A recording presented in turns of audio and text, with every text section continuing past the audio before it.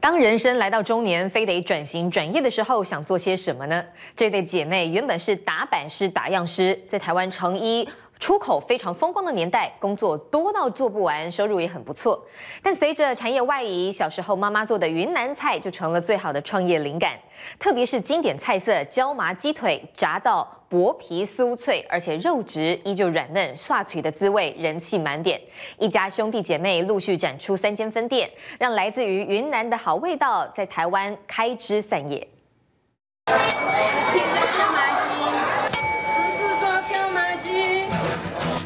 还不到正午时分，这馆子已经叮叮当当，激动开张。外皮它炸得很酥脆。但是里面的鸡肉又很嫩，就外外酥内嫩，吃起来口感很好。它脆酥软，然后它因为它带点微酸呢，你吃了你不会觉得很腻。椒麻鸡腿入口咔哧咔哧，爽脆口感，金黄诱惑小朋友们更是无力招架。真的有好吃吗？嗯，很好吃。为什么？因为外皮会脆脆的，然后里面的肉是软软的。必点的啊，超爱啊。又酥又脆又好吃，口感又好又不会很烂。这椒麻鸡当年也是这对姐妹的爱菜，只要妈妈开始腌肉裹粉准备炸鸡，小姐妹都会忍不住七手八脚抢着帮忙。有时候会越帮越忙。比如说有一些时候会东西会打翻啊什么啊，对啊，就会越帮越忙。余家的餐桌向来肉感澎湃，像是这道台湾罕见的大薄片，就是妈妈从云南老家带来的拿手菜。猪皮腮帮薄到吹弹可破，即可透光，配着醋味调酱，划成碎末，清脆爽口，不油不肥，人气指数更胜椒麻鸡。大家都抢着吃了，这个最好吃了，淋上我们的特制的酱汁，哦。过瘾啊！不止上桌时抢成一团，妈妈只要拿出原原本本大块腮帮，姐妹们就会一拥而上，生怕错过四射火光。会看啊，会很好奇为什么要烧？烈焰大火下手非常惊人，白嫩猪头瞬间面目全非，别说脸上细微汗毛一丝不剩，就连身上的坏味道也彻底烧个精光。故意要烧焦的，像我们家猪脚啊，都是这样子做哎。都是这，都是这样的过程。烧成黑脸猪头，再泡进水里，把焦炭黑皮彻底刮净，就像去角质一样，直到干干净净、清爽气息。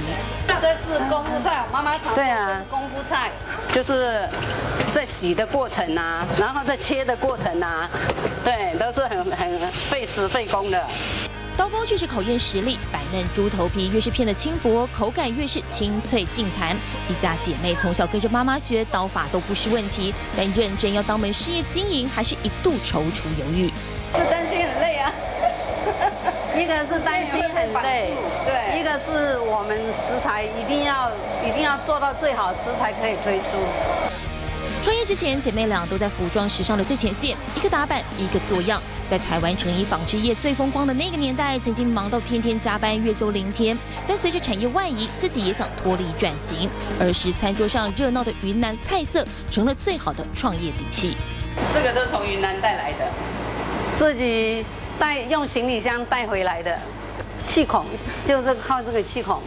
靠这个气孔的蒸汽上来，特别就是在这里，对，把鸡肉蒸熟。为了蒸出云南特有的气锅鸡汤，土陶气锅硬是从妈妈的家乡扛回台湾。鸡肉则比妈妈的年代更加精挑升级。以前一家子人口多，全鸡带骨，现在开业只用鸡腿肉，还不用啃骨头。给它马杀鸡，这个鸡太好好命，一定要这样才好吃。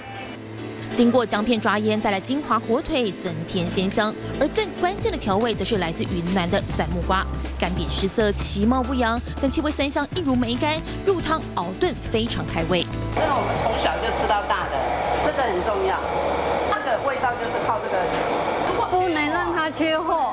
就没得卖了。原味食材层层相叠，传统的汽锅鸡就这样干干爽爽送进蒸箱。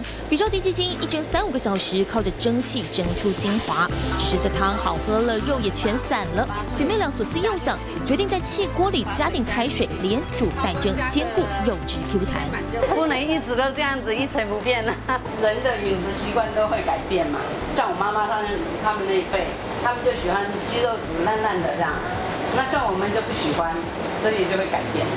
前前后后花了两年，终于调出适合现代人的口味。没想到欢欢喜喜一开幕就遇上九二一大地震，整间店不来电，从厨房到餐桌一片黑压压。但为了开张大吉，也只好硬着头皮。没想到那是真的是意外，吓到人了。那时候也顾不到那么多啦，反正就是点蜡烛给客人呀，客人也没有离开，还是一样来。家传滋味就这么摸黑前进，开启口碑好评。开业近二十年，人气持续累积，连云南的记者来台采访都特地上门解乡愁口欲，就很开心啊。那他来也会特别的照顾他。有一次他感冒啊。他感冒就是也吃不下，但是他在外面吃不下，他会来吃，我们就吃少少这样。辛苦，毕竟看到大家吃的很开心，我们也很开心呐。老妈的手艺抚慰了来自云南的胃，一家兄弟姐妹也更加亲近相依，彼此相互扶持，陆陆续续已经开出三间分店，又让这来自云南的好滋味在台湾开枝散叶。